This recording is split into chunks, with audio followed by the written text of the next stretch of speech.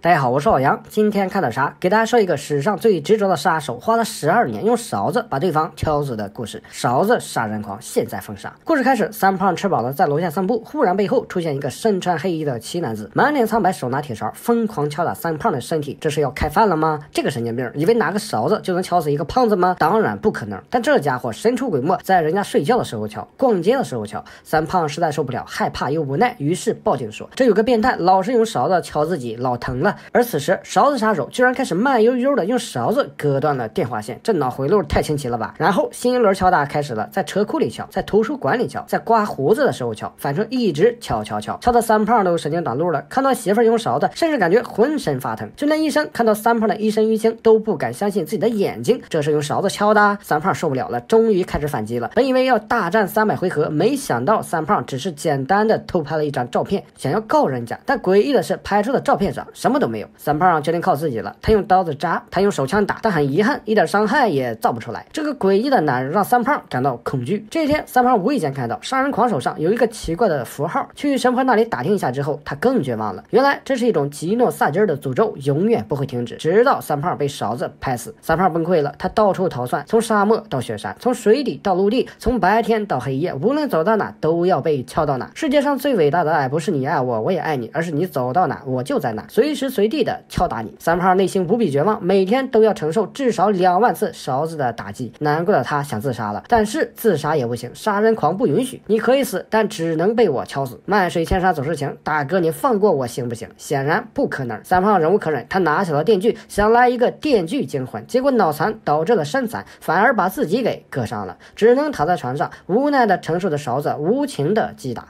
三胖决定发威了，虽然不是第一次。三胖收集了各种武器，拖着虚弱的身体，开始了各种反击：机关枪扫射、坦克轰炸。在一片浓浓的黑烟里，杀人狂迈着傲娇的步伐，安然无恙的朝三胖又一次走来了，手里拿着铁勺。失败是成功之母，三胖不能放弃啊，不然就得嗝屁。历时十二年，遍布五大洲、四大洋，三胖凭着惊人的毅力，终于熬到了。勺子断了，好不容易松了一口气，终于结束了，但不可能。下一秒，三胖悲哀的发现，杀人狂的怀里竟然有无数把备用的金属勺子。三胖终于放弃了，好吧，你赢了。随着最后一次击打，三胖终于清静了。没错，他终于被勺子敲死了。故事到此就结束了。看了这个电影，我这样说：如果你遇到这个事儿，你说怎么办？能怎么办？等死呗。好了，我是老杨，我们下期再见。